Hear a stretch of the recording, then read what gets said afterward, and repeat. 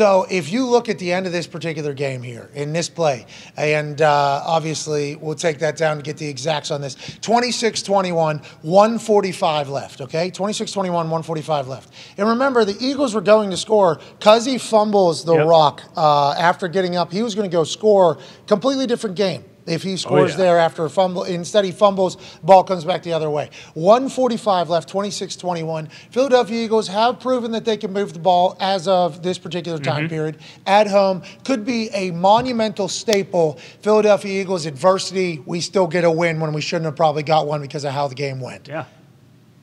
Run the play. Taylor Heinicke, instead of running the ball and running some more clock, they were going to throw it, maybe put a little death in this thing on third down. He kneels, and then Brandon Graham hits him Oh, late. boy. And the white hat says 15 yards. Taylor Heinicke says, thank you. First down. They only have one timeout, less than a minute 40 on the clock. This is over. Now, if we were to watch this, we would uh, immediately think to ourselves, with the game on the line for a team to win, this call can't be how a game is decided. Yeah. But you go back, keep go back to the uh, uh, like the side view of that thing, the slow motion one there. But if you look at this,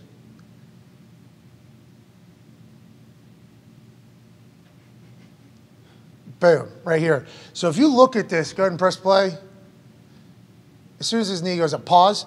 Look how far away dude is. Yeah. Okay. Yeah. Brandon Graham is very far away from Heinicke. Now, this is an awkward looking kneel down. He could have slid. He could have done something else. It's a weird thing for Heinicke to do at the time he was trying to do. He's trying to stay inbounds, doesn't want to throw it away, wants the clock to keep moving or them to spend a timeout. But the way he went about taking a knee, certainly awkward. We'll talk to him in about 50 minutes and we will certainly ask him about why this particular knee of choice and why this is how he decided to want down, uh, go down as opposed to any other way. But Brandon Graham, pretty far away. I mean, pretty, mm-hmm. pretty far, pretty far away at this point. Press play. One, two, three, four. I mean, yeah.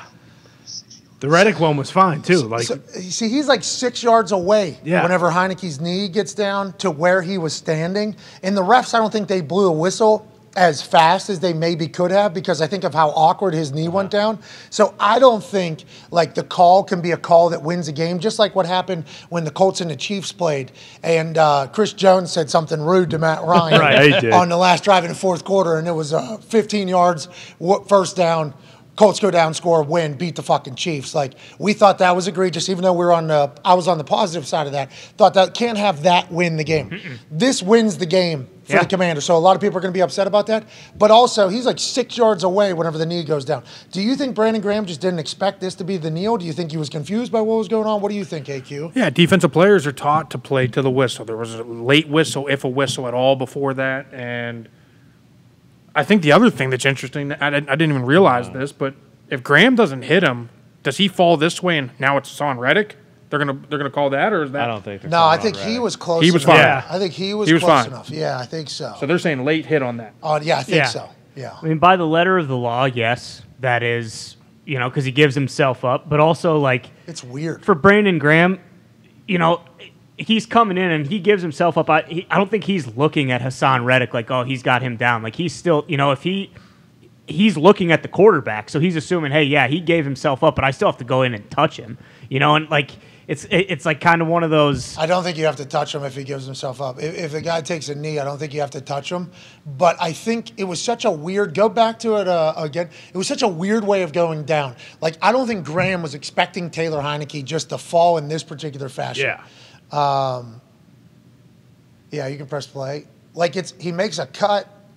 Uh, no, I'm down. Like it's a weird jump down thing. Clearly giving himself up though. Yeah, but if he if he goes if he goes down to the ground there and doesn't stay in this double knee position, correct? Well, and his head's down, you still would have to touch him down, would you not? no, I think is if you give yourself up, take a knee. I think right because Yeah, he takes a knee. up, That's what I'm saying. But I'm saying, like, if you're Brandon Graham, He takes see- a knee. I think that is why it's such a big thing because that doesn't look like a knee to me. A knee is what you see when a quarterback. exactly it's a weird fu- and like Yeah. kickoffs people used to do it for touchbacks like the way you would give the way he went about doing this Yeah. is one of because if he slides you have to touch him right Yeah, Yes. slide you have to touch him No. Uh, no, well, no. no. But if he fall, like what I'm saying, like if his shoulder goes to the ground here, and he falls head first, not feet first, you would have to touch him down. All right, let's go back to the. Let's run this thing back a little bit again. Well, and even with Go all the way back to the beginning. You can go all the way back to the beginning. that's awkward too because remember they lost the Packers game because he gave himself up before running the ball in. Go ahead, play.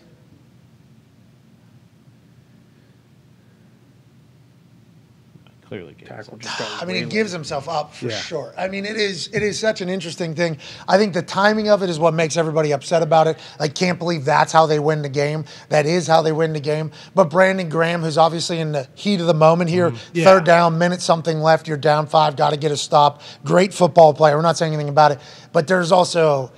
Like if you're a Commanders fan, you're saying he was six yards away whenever the guy took. I mean, six, six yards is a long time. That, Yeah. That's a that's a lot of time to potentially stop. Heinicke gives a good sell. We'll talk to Taylor in about uh, what is that, 45 minutes or so Yep. to see his take on it. Because as soon as he goes down, he goes, "Okay, thank you so much. That's the first down. See you later. Keep it moving." That guy's a leader. That guy's a winner. Yeah. He's chained up and iced out on the plane after that. That's still that's your like that's bullshit. The game ends that way. It's It just is. bullshit. It's tough. Can't throw a flag. I mean, that one's not as Cannot. bad as the face mask. Yeah, the face mask is one that people are talking about. It needs to be a reviewable call. Yes. Uh, because they're thinking that sports books are, are cooking the books with these refs Mm-hmm. for these calls. Because face mask, obviously, 15 yards, big deal. I mean, it's a huge call at the timing in which it was called. But that is becoming the conversation now with a lot of people online because the refs have had a rough week. This week was rough for the refs. Yeah, might We- be their worst. I think so. I honestly believe so. Fourth quarter, you know, whenever you're, oh, this is tough too because there's a clear, there's a clear grip. Yeah, that's so obvious. So you should be able to challenge that, obviously. Uh, you know, the biggest thing for us was trying to keep their offense off the field, and you know how to do that was run the ball and convert third downs, which we did a great job of. So, um, yeah, it was a full team effort last night, and yeah, on that on that last play, you know, we called it, we just called sticky, and it was like, hey, if Terry's open, give it to him. If not, just take a sack. So in, in my mind, I was like, this this guy better be wide wide the hell open for me to throw it to him, or I'm just taking the sack. So you know, I took a knee there, and I saw Reddick coming in. I was like, oh, this might be a little too close. But then I saw Graham coming in, and I was like, please hit me. And sure enough, he did. And got the flag. So uh, yeah, it was it was a good little deal. Uh, before your question, AJ, let's run that clip because we, we broke this down earlier because obviously the refs are going to get attacked for this because this this won the game for you guys. He is if you run this, he whenever you take a knee, stop it when he takes a knee. Boom. He's six yards away from you here. We did the calibration for it actually. Now that was a weird fucking knee. Taylor, what was what was what why was that the why was that the knee of choice? Just giving yourself up, double knee. Let's go ahead and sprawl on this ground as fast as possible. Exactly. I wasn't really thinking of how I was going to take a knee. I just knew I was going to get on the ground. So that's in your head. You're running, and you're like, "All right, I got to get down here," and you just first react, "Let me jump down on it." Yeah. It's amazing because I think you baffled Graham. Like I think it Yeah. was like a, a little bit of a baffling. Did the whistle come quick? You think, or did, I don't remember how quick the whistle was. Was the whistle there? Well, I remember I was on the ground for a good bit, and you know he came in came in hot and got me. And right when he hit me, I looked at the ref. I was like, "Yo, what the fuck?" You know. Yeah. and I saw him reach for his Is that immediately, something- So Go ahead, AJ. Taylor, sorry, is that something you guys practice? Do you actually practice a play like that? I, I would imagine you, you would want to. Hey, if Terry's open, I'm going to give it to him. If not, I got to get down and take a sack. I guess it's much more safe for the team to go down and not sit there and just absorb three guys hitting you and worry that they might strip the ball from you. Is it something you guys work on? No, it's not. You know, right before that play, uh, Scott was in the, in on the headset just saying, "Hey, uh, we're going to call this play. If Terry's open, throw it to him. If not, just take a sack." And I was like, "All right." So um, he wasn't open. He wasn't open like I wanted him to be open. So I kind of tried to waste a little bit more time off the clock by you know scrambling a little bit and then just getting down. So again, you know, it's they made a little mistake and. You know, we're kind of happy they did it. Yeah, I think like refs, obviously, everybody, you, you talk to former players and fans are like, gotta let them play, but also like there was six yards from when you gave mm-hmm. you gave yourself up in a weird. Fa- I mean, I don't know what I would do either. I don't in that situation. I don't know what I would do, so I can't judge you. But you took a knee. Clearly, he was far. I think he just competitive moment hit you. But I think watching it, the ref had to call it. I think that's how it was. You guys win a game, make a great play, and put a bow on an incredible Monday night football.